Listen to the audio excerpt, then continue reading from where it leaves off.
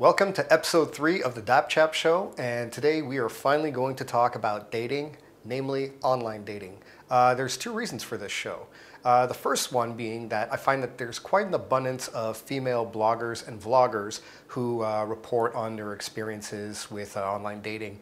And uh, while I totally empathize with them, and I do understand that uh, there are quite some horror stories to be uh, had out there, I also thought it was about time that um, they got to see the other side of the coin, but also it's a public service for all the chaps out there who need to know what types they have to look out for because uh, it can be pretty hairy out there. So uh, here we go. So type number one, we have the husband hunter. To observe the husband hunter in her natural habitat is to bear witness to a need for domestication at its most extreme. The husband hunter will put security, predictability far ahead of things like love, laughter, and social compatibility or you know what the ancient sages would refer to as the cornerstones of a relationship that has a chance of lasting. My own personal experience with one husband hunter saw her recommending that we have our first date, wait for it, at her parents' place. Yeah, no thanks. Type number two, the man hater who needs a man. This one's special. She hates you and all the other chaps out there, but she also hates herself because she wants what you've got. Hmm, what a pickle, huh? You'll recognize the man hater right away when she starts talking about what a piece of shit her last boyfriend was. And the same for the guy she dated before that, and the guy that she dated before him, until you get the impression like she's had very bad luck her whole life and never met a chap who is not a piece of shit.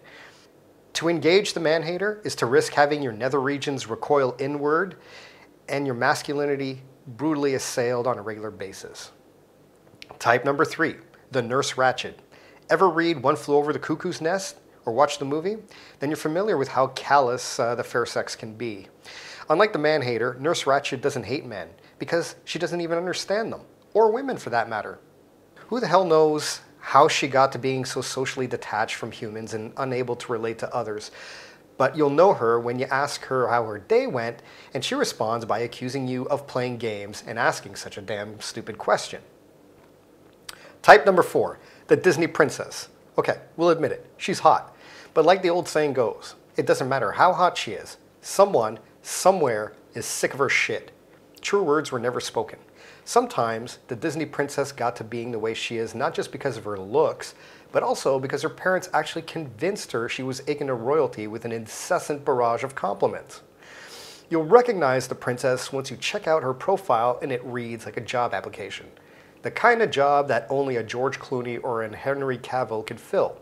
As a confident chap, you might be tempted to try and see what could happen, but be warned. Despite her pleasant exterior, the Disney princess's soul is a scorched, barren field governed by the cold winds of entitlement and self indulgence. Number five, the lifer. She's more common than you may think. Some women have given themselves over to online dating for good.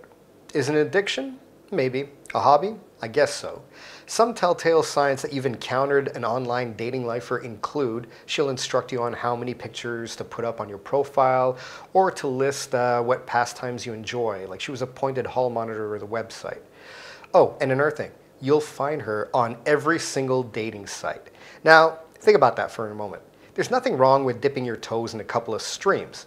But just think of how many popular dating sites there are and how each one of them is packed with thousands of guys. I mean, seriously, how much of a spiritually broken, emotional burn victim do you have to be to not find one guy in all that variety? We've just published a book that is designed to take you away from the perils of online dating. Now, I'm not going to tell you what the title is. The reason I'm not going to tell you what the title is is A, I want to save the surprise, but B, I don't want you to go on Amazon and buy it. I actually want to give it to you for free. And the way you get this book for free is by going to dappchap.com forward slash dating book. And you just go there and you can get a downloadable copy. And with that being said, good luck and we'll see you in the next episode.